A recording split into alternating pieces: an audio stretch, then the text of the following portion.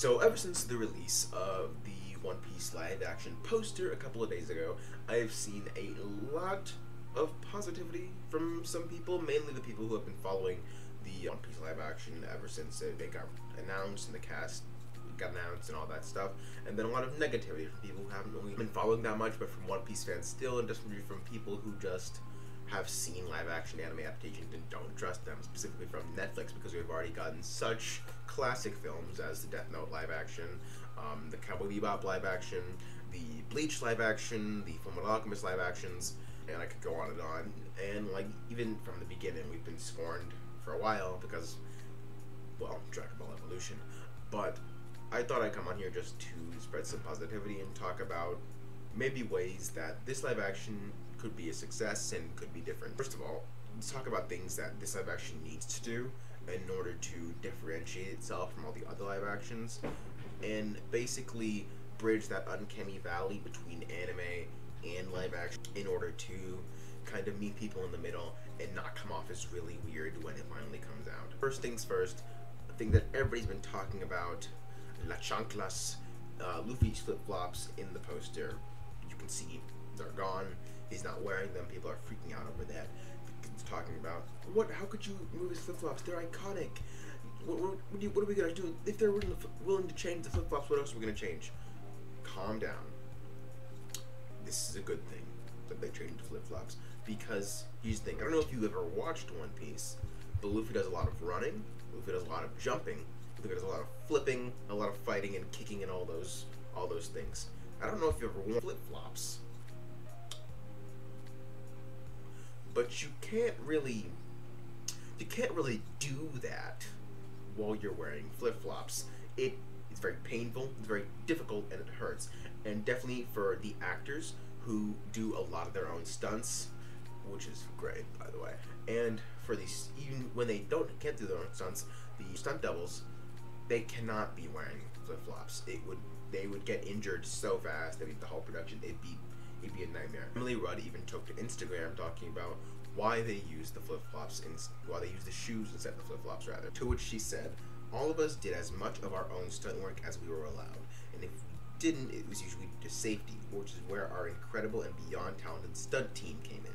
Sandals, unfortunately, are not the safest footwear to do stunt work in, and we didn't want y'all to miss out on the amazing work Iñaki Go can do and did."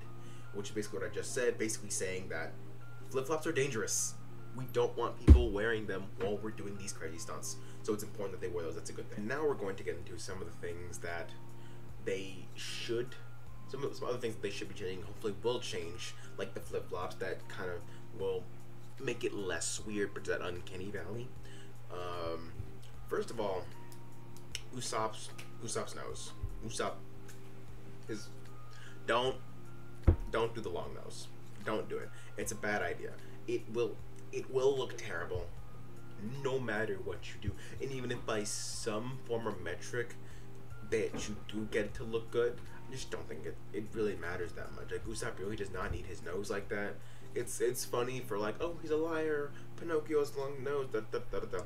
but it's just it really not be beneficial to even attempt the long nose. Like some of these extra little character quirks that I'm gonna talk about just really don't need to be in here, like Sanji's eyebrow.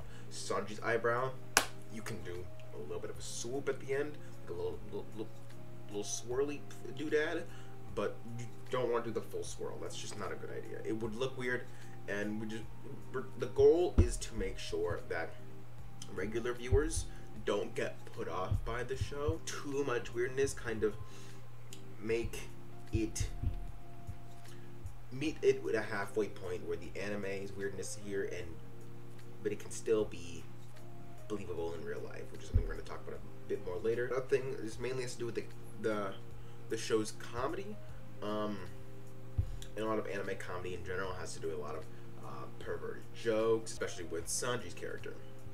Sanji's character makes a lot of perverted jokes. He's a huge simp lord, and thank God we were told by Matt Owens on this most recent Reverie that he will not be the same Sanji from the anime. They're saying they're not going to completely change his character. They're just toning down the weird parts of Sanji, the more perverted parts, which is a good thing because again we don't want to pull push people off of this character. It'd be very, very uncomfortable to see a grown man just like being openly perverted and nobody like calling him out for that. Also on the topic of perversion, just dial down the metric amount of half naked women in this show. Like, I get it, waifus, but also don't have Nami be walking around in only a bra. Like, I get it, we're not even at the time skip yet, but you just just a preamble. Um, it's just it, it it it's not practical, and it just wouldn't look good. I think. All right, let's talk about what a live action in general needs to do to basically bridge the gap and come up as normal to both um, longtime viewers of the source material and new viewers that are being brought in because of this adaptation. And let's talk about one of the most famous live action adaptations of all time, the MCU. Uh, famously, the MCU is the most popular film franchise to ever come out with 20 some odd movies. Many TV shows at this point, but it's doing really good for itself. People really love the MCU, but that wasn't really always the case for Marvel films. In the beginning, Marvel had a hard time adapting its structure from comics to live action. Just look at some of the earlier films. The first rendition of the Fantastic Four films, the an old Captain America film, Ang Lee's The Hulk, um, the unreleased famously unreleased Fantastic Four film, David Banner's The Hulk. Even though it was well received, it's not really a good adaptation of the Hulk from comic to live action. Not really until films like um, X Men 2000, Spider Man 2002, Iron Man 2008 that did Marvel really start to be able to kind of see, okay, this is what you can do in comics and this is what you can do in live action. And anime is at that point where they are where they are seeing, okay, we can't do this level of silliness because cartoon character people people do things that cartoon characters do. It looks really weird and it makes you uncomfortable. So we kind of just need to tone down the characters in order to make them more realistic and believable. Most notably, Luffy. I already talked earlier about how they were going to make tone down of Sanji's perversion, make him less of a full out pervert, and makes make him more of a just a just a suave dude who's hitting on girls. Um, but Luffy is kind of the bread and butter of this show. He is the main draw, he's the main character, and the most important piece to get to stick. Now, I trust Matt Owens in knowing this, but you cannot translate Luffy from directly from page to screen and expect that to go well. Mostly because Luffy is a very, very cartoony character. She's very overly stupid, very overly excitable. Just the amount that he eats, how he goes about daily uh, problems. Just he would be kind of annoying to the average viewer if they translated it like that. They should do with Luffy is kind of still make him believably stupid. Like like like believably he's he's dumb and he should seem unfit be captain at least at first. But you should still keep that that lovable childlike charm that makes him who he is. Kind of like a less serious Jack Sparrow. Like Jack Sparrow seemed dumb and he seemed off and odd. Kind of like a less serious, more childlike Jack Sparrow.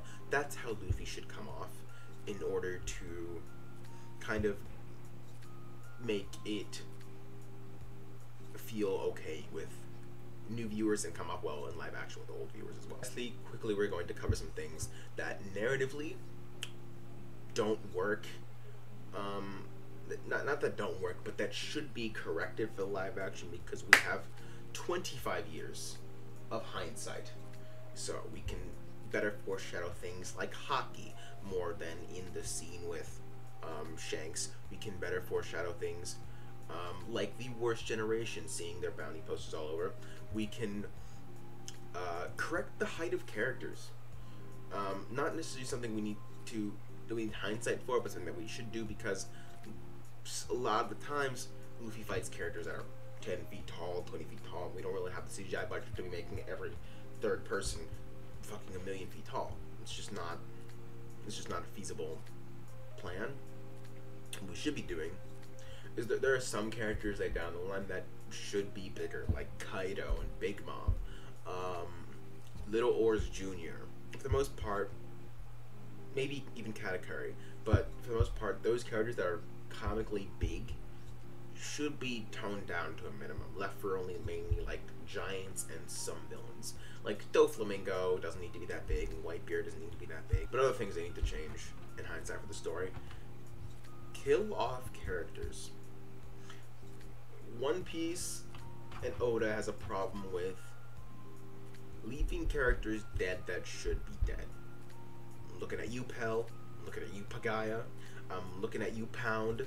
Okay, the will of P is strong, but we, just, we do not need the will of P in this live action. We need to rinse it because how are people going to take it seriously if people explode and just get shot in the head and then wake up later? It's not. It's not something that really should be left. Uh, just kill off some characters make it more believable, make the story feel more real because it really takes you out of, of the story when you think that, that character really should be dead. Why is he still alive? He is very much dead. You know, there's a problem with killing off characters. I think we need to fix that in this live action. But if we are able to make a lot of those changes to kind of make One Piece feel less cartoony and more realistic, seeing that it is live action, so it should be privy to having a realistic tone with realistic features in the world.